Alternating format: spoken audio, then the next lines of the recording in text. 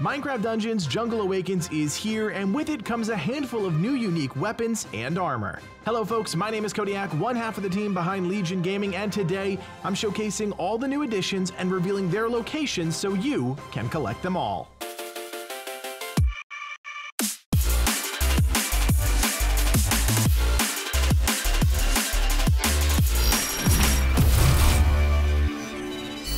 All in all, a handful of new items have been added to the game with the Jungle Awakens DLC.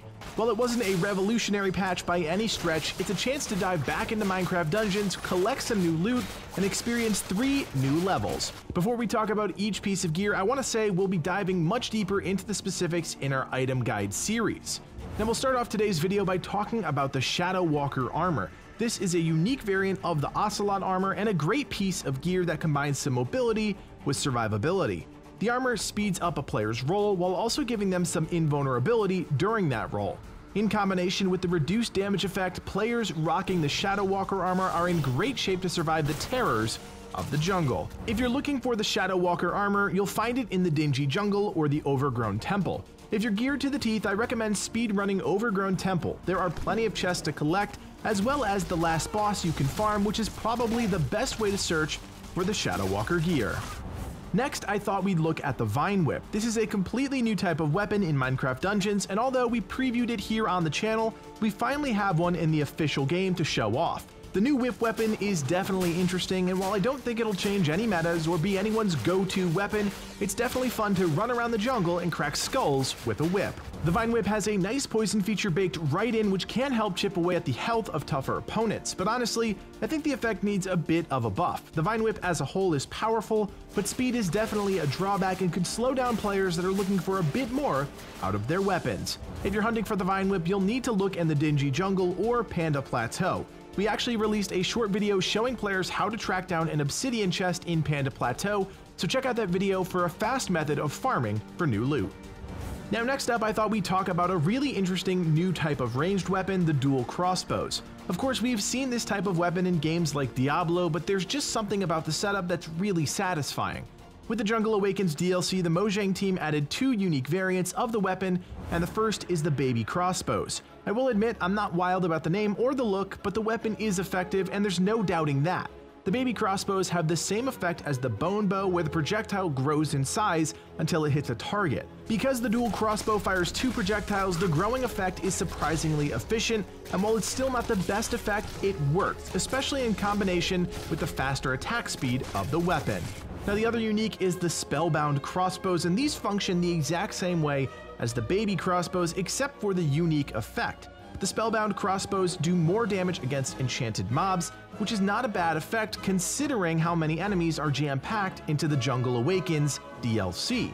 I mean seriously, compared to some of the original levels in the game, the Jungle Awakens levels have about twice as many mobs, it's a noticeable difference and makes the Spellbound crossbows just a bit more relevant. What's a bit frustrating about tracking down these weapons is the fact that the Jungle Awakens DLC doesn't actually matter when it comes to finding the dual crossbows. At this point, you can only find these unique items from the new Lower Temple level. If you haven't unlocked the Lower Temple, go ahead and check out our companion video already released on the channel. Now I saved the best new weapons for last, easily my favorite additions to the expansion, the new Battle Staff Uniques. Talk about style, the Battle Staff weapons feature a really cool attack pattern and are a healthy mix of power, speed, and area of effect. While they're not the fighter's bindings and probably won't change many hearts or minds, it's still the most interesting addition to the game. The first unique is called the Growing Staff and inflicts additional damage to wounded mobs. This is a fantastic unique effect to have when fighting tougher enemies throughout the jungle. Gone are the days of one-shot mobs, and you'll need a weapon like the Growing Staff to deal that additional damage on stronger enemies. The second unique is called the Battle Staff of Terror, and if you're looking for something with a bit more flash, this is definitely the weapon for you. Enemies killed by this weapon explode, dealing damage to any nearby foes. Again, with so many enemies packed into these levels, this is definitely not a bad weapon to consider the explosion will come in handy dealing extra damage when you need it most. Now, I'll admit I'm a bit frustrated with the Mojang team for not including the Battle Staff and dual crossbows in the Jungle Awakens maps. If you ask me, they're really stretching the developed content thin, and it's a bad look for a company that has no shortage of talent and money.